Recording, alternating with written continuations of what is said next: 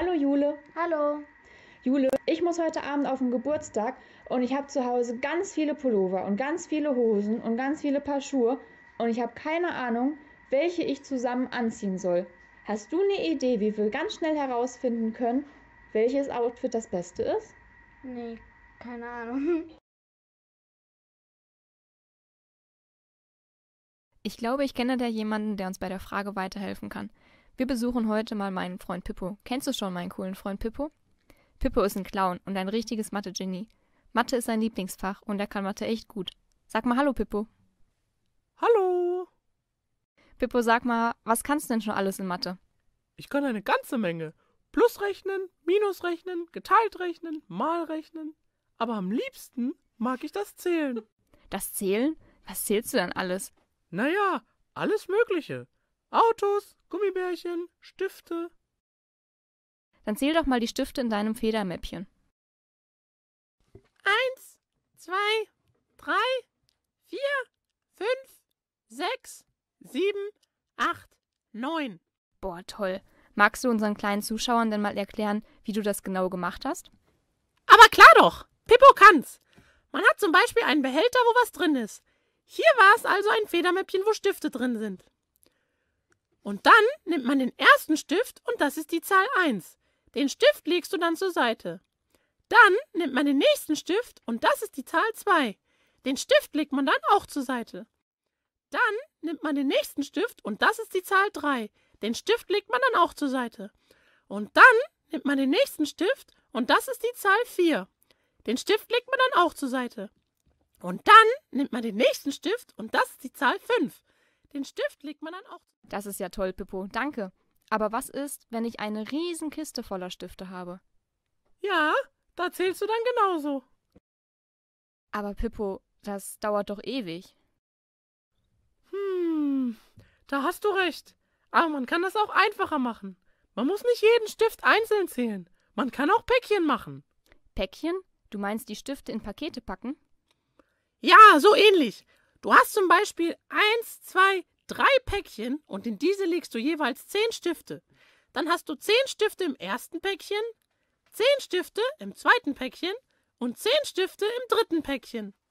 Und dann alle Stifte zählen zu können, rechnest du ganz einfach 3 mal 10 und kommst auf 30 Stifte. Das kann man dann natürlich auch mit mehreren Päckchen tun.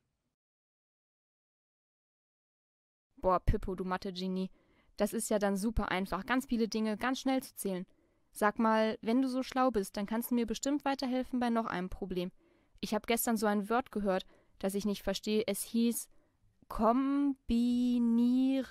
Aber klar doch, Pippo kann's.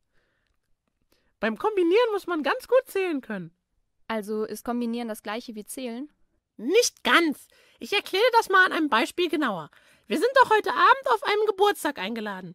Du willst was Cooles anziehen.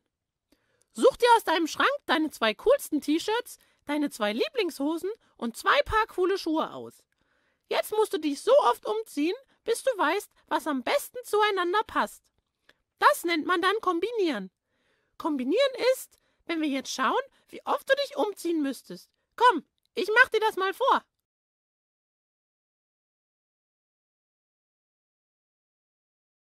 Und?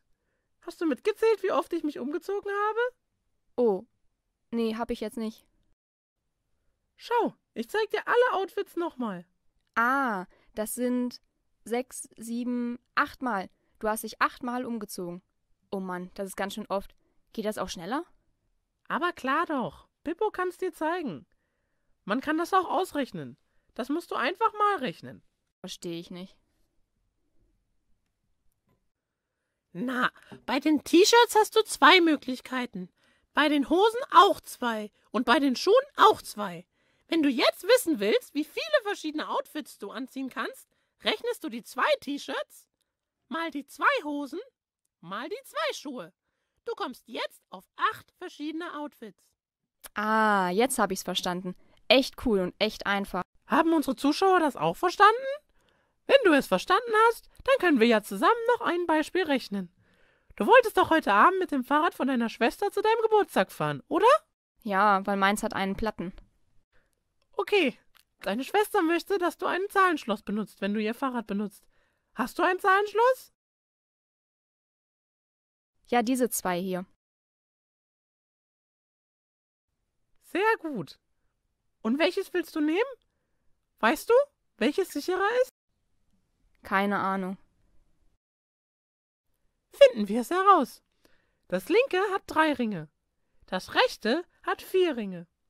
Bei den drei Ringen kannst du die Zahlen von 1 bis 6 einstellen.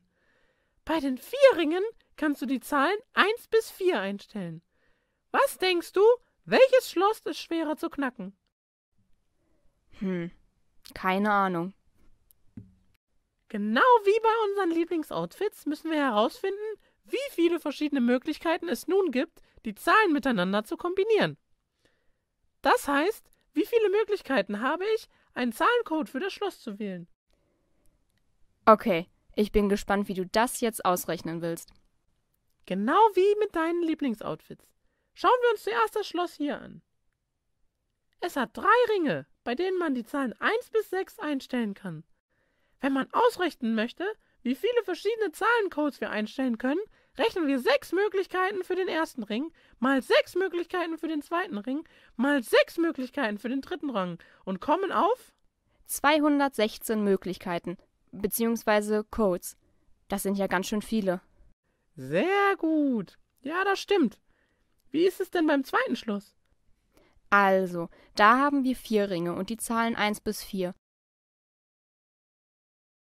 Wir müssen rechnen, vier Möglichkeiten für den ersten Ring, mal vier Möglichkeiten für den zweiten Ring, mal vier Möglichkeiten für den dritten Ring, mal vier Möglichkeiten für den vierten Ring. Da kommt man dann auf, äh, 256 Möglichkeiten. Welches Schloss ist also das sicherere? das mit den vier Ringen, weil ich da ja viel mehr Möglichkeiten habe. Jemand, der versucht, das Schloss zu knacken, müsste 256 Codes ausprobieren. Das dauert ganz schön lange. Dann nimm heute Abend das Schloss mit den vier Ringen mit. Wow, Pippo, du hast es echt drauf. Danke, danke. Und falls du wieder Fragen hast, frag mich. Pippo kann's. Aber jetzt fahren wir erstmal auf den Geburtstag. Los geht's!